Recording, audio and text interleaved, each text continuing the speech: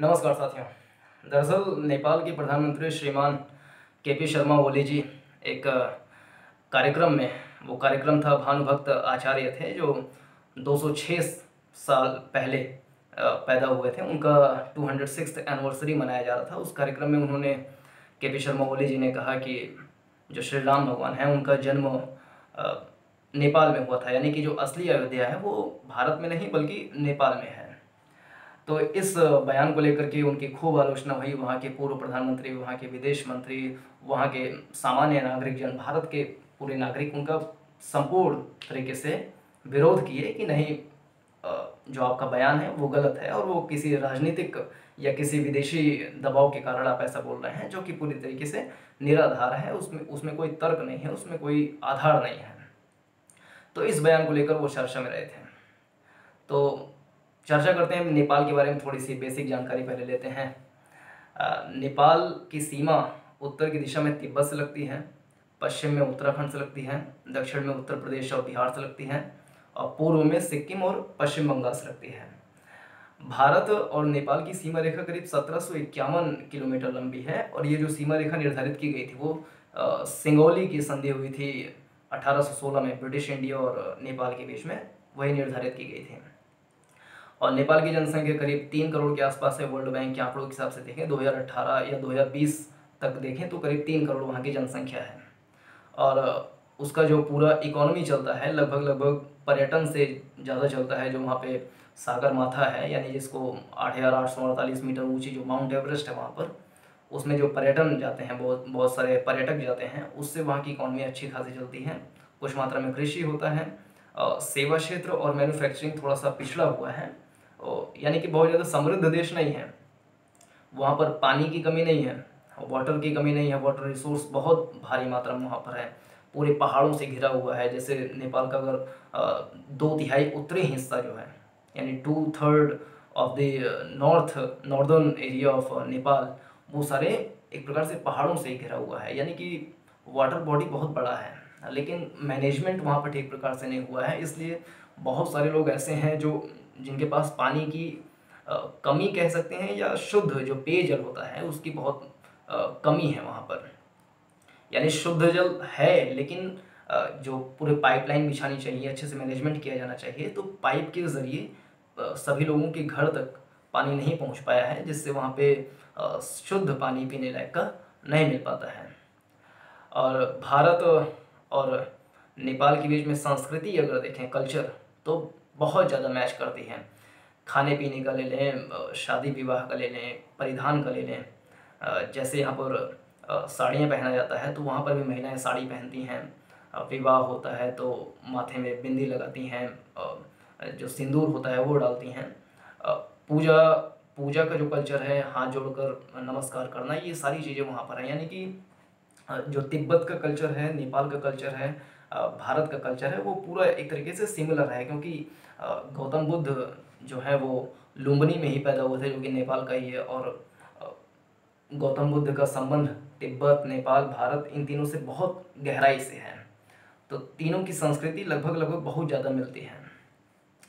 और अगर भारत और नेपाल के बीच में सीमा को लेकर के देखें तो कुछ समय पहले के पी शर्मा ओली जी ने विवाद खड़ा कर दिया कि उत्तराखंड का कुछ क्षेत्र जो है वो नेपाल का है, उसने अपने संसद में बाकायदे बिल पेश करके उत्तराखंड के कुछ काला पानी वाला जो क्षेत्र है, उसको नेपाल का हिस्सा बताया था। लेकिन भारत ने क्लेम किया है कि नहीं, वो पूरे तरीके से भारत का हिस्सा है और जो इंडिया का मैप है, उसमें दर्शाया गया है कि वो सारे भारत के हिस्से हैं। अब विवाद जो वर्तमान में खड़ा हुआ है, उसको थोड़ा सा समझ लेते हैं। विवाद ये है कि भानुभक्त आचार्य का दो सौ छठा बर्थ एनिवर्सरी था। उस कार्यक्रम में के पी शर्मा ओली जी गए थे। एक बयान दे दिया कि श्री राम जी का जन्म नेपाल में हुआ था। यानी कि असली अयोध्या नेपाल में है। वीरगंज में एक स्थान है ठोरी। वहाँ पर उनका जन्म हुआ था। ऐसा के पी शर्मा ओली जी ने दावा किया है। उनका तर्क ये भी है कि क्योंकि उनका जन्म इसलिए यहाँ पर हम मान सकते हैं क्योंकि जो माता सीता हैं वो जनकपुरी की हैं। यानी कि जनकपुरी मिथिला वो सब जो क्षेत्र है पूरा वहाँ पर आ, माता जानकी का यानी कि सीता माता का जन्म हुआ था। तो और अयोध्या जो है वो नेपाल में ही एक छोटा सा स्थान है जैसे और भी कहीं जैसे बैंकॉक जो थाईलैंड है थाईलैंड में भी एक स्थान है वहाँ पे अयोध्या है। स्थान का नाम अयोध्या है। असली अयोध्या तो भारत में ही है लेकिन कुछ स्थान ऐसे हो सकते हैं जो अलग अलग जगह पे एक कहें कि सांस्कृतिक एकता के लिए या सम्मान देने के लिए रख सकते हैं छोटा मोटा स्थान। तो थाईलैंड में भी एक स्थान अयोध्या है, नेपाल में भी अयोध्या है। तो के पी शर्मा ओली जी कहे कि जो नेपाल वाला अयोध्या है, वहाँ पर श्री राम का जन्म हुआ था। और जानकी का जन्म जनकपुरी में हुआ था, या कहें मिथिला के क्षेत्र के आसपास हुआ था। तो उनके दोनों के बीच में जो विवाह हुआ है, शादी हुआ है तो अगर वो बहुत ज़्यादा दूर रहेंगे, जैसे कि अयोध्या में रहेंगे, भारत वाले अयोध्या में, और नेपाल के जनकपुरी में अगर माता सीता है तो उनके बीच में संबंध जो है, संवाद, जो कम्युनिकेशन है, वो नहीं हो सकता है। पुराने हज़ारों साल पहले की अगर बात करें तो कम्युनिकेशन का साधन नहीं है मोबाइल फ़ोन वगैरह सब तो नहीं ही थे, स्वाभाविक सी बात है। तो कम्युनिकेशन कैसे हुआ? तो उन लोगों, उन दोनों का विवाह कैसे हो सकता है? ये उनका तर्क है। लेकिन ये तर्क, कुतर्क टाइप का है, क्योंकि अगर वो ये चीज़ मानते हैं कि उनका विवाह हुआ था, यहाँ पर हुआ था कम्युनिकेशन के साधन नहीं थे तो ये भी उनको समझना चाहिए कि अयोध्या से लेकर के श्रीलंका तक यात्रा कर लिए थे श्री राम जी सीता माता बजरंग बली ये सारे अयोध्या से श्रीलंका तक का पूरा यात्रा किए थे। तो अयोध्या से श्रीलंका इतनी हज़ारों किलोमीटर की यात्रा कर सकते हैं, करीब तीन, सवा तीन हज़ार किलोमीटर की यात्रा कर सकते हैं तो पाँच सौ छः सौ किलोमीटर की यात्रा क्यों नहीं कर सकते हैं? तो विवाह तो हो ही सकता है। तो इनका जो पहला तर्क था, के पी शर्मा ओली का, वो एक प्रकार से ठीक नहीं था।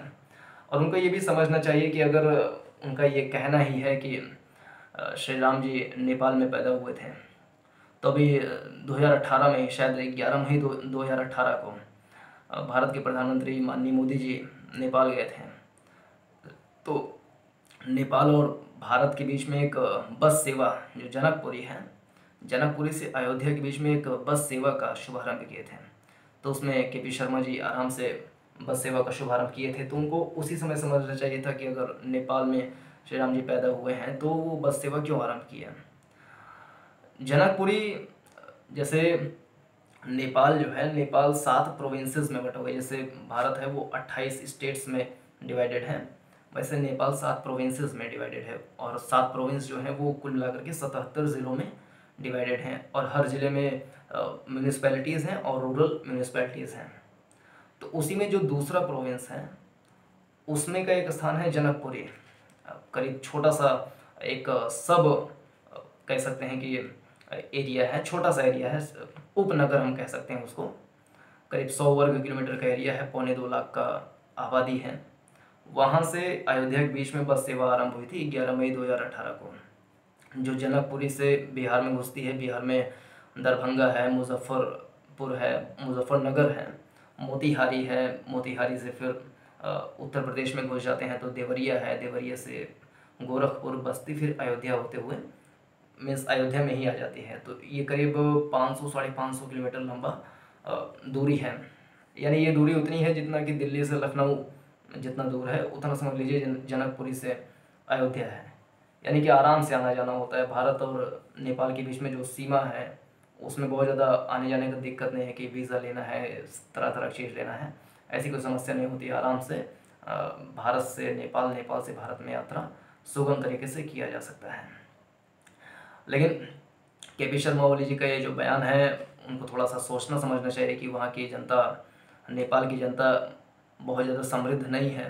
वहाँ का इंफ्रास्ट्रक्चर वहाँ का जो कहें कि एजुकेशन वहाँ का हेल्थ बहुत ज़्यादा अच्छा नहीं है तो उनको उस चीज़ पे ज़्यादा ध्यान देना चाहिए और राजनीति करने के चक्कर में, नाम कमाने के चक्कर में इस प्रकार की गलत बयानबाजी और किसी की सांस्कृतिक जो बातें हैं, जो किसी की निष्ठा है किसी चीज़ में, धार्मिक भावनाएँ हैं, उसको उकसाना ठीक नहीं है।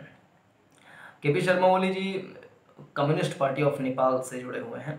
अब कम्युनिस्ट पार्टी का इतिहास ही रहा है कि वो भारत की संस्कृति को नीचा दिखाना, भारत की संस्कृति को ना मानना या उसका अपमान करना कम्युनिस्ट का इतिहास रहा है। भारत में कम्युनिस्ट की जो स्थापना हुई थी 1925 में माना जाता है। 1925 में स्थापना हुई, उन्नीस सौ तिरसठ में समाप्त भी हो गई, टूट सी गई। और नेपाल में उन्नीस सौ उनचास में कम्युनिस्ट का आरंभ हुआ। उन्नीस सौ पंचानवे में कम्युनिस्ट माओवादी एक प्रकार से में टूट गई, कम्युनिस्ट जो है वो माओवादी में टूट गई। तो कम्युनिस्ट का इतिहास ही यही है कि वो भारत की संस्कृति को नीचा दिखाना, भारत की संस्कृति का अपमान करना, यही रहा है। लेकिन जहाँ पे श्री राम को मानने वाले हैं, श्री राम भगवान को मानने वाले हैं, वहाँ पर किसी वामपंथी या किसी कम्युनिस्ट विचारधारा का वहाँ पर नहीं होना चाहिए। यानी कि चाइना अगर इस प्रकार की बात बोलें तो दूसरी बात हो सकती है। माना जा सकता है कि चाइना बोल सकता है। लेकिन नेपाल अगर इस प्रकार की बातें बोलें तो वो थोड़ा सा अटकता है कि नेपाल और भारत की संस्कृति पूरी तरीके से एक ही है। मीन्स अगर कहना नहीं चाहिए ये लेकिन अगर नेपाल भारत का होता तो समझ लीजिए कि उत्तर प्रदेश का डेढ़ सौ किलोमीटर और ऊपर लेकर जाकर के पूरा उत्तर प्रदेश बन जा, बन जाता। बिहार का क्षेत्र जो है, डेढ़ सौ किलोमीटर करीब और उत्तर लेकर जाकर के पूरा बिहार बन जाता। है यानी कि वो आराम से बिहार और उत्तर प्रदेश में आ जाते हैं। उसका क्षेत्रफल भी जो है वो उत्तर प्रदेश के क्षेत्रफल से एक लाख वर्ग किलोमीटर से भी छोटा है। तो ये सब थोड़ा समझना चाहिए कि अपनी जो स्थिति है, परिस्थिति है, उसको ध्यान में रखते हुए कोई बयानबाजी किया जाए और किसी की धार्मिक आस्था को चोट नहीं पहुँचाया जाए। और उनकी जो बातें हैं, उसका खंडन वहाँ की जनता ने, वहाँ के अन्य नेताओं ने भी किया है। तो उनके इस कथन का कोई तार्किक आधार नहीं है, बस कुछ कारण रहे होंगे जो कि उत्तर दिशा से आ रहे होंगे तो वो दक्षिण दिशा में फेंक दिए गए। तो उसका कोई मतलब नहीं है। तो इस वीडियो में बस इतना ही। आप इस विषय के बारे में क्या सोचते हैं? के पी शर्मा ओली जी के इस बयान के बारे में आपका क्या विचार है उसको बताना हो तो बताइए।